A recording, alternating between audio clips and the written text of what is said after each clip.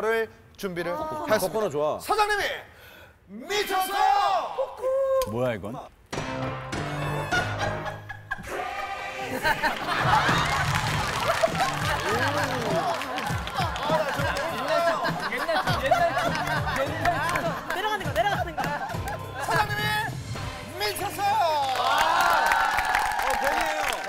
끝내지 미쳤어. 크레이지 팬이에요. 나 이 부분 너무 좋아요. 이제 좀 혈색이 도시네.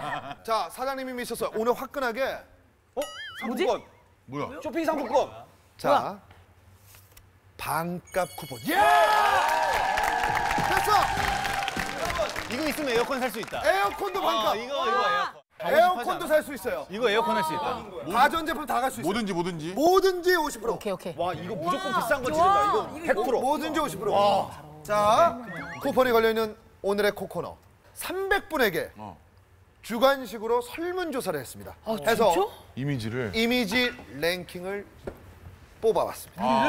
예, 바로 있다 없다입니다. 있다 없다. 새 코너 새 코너.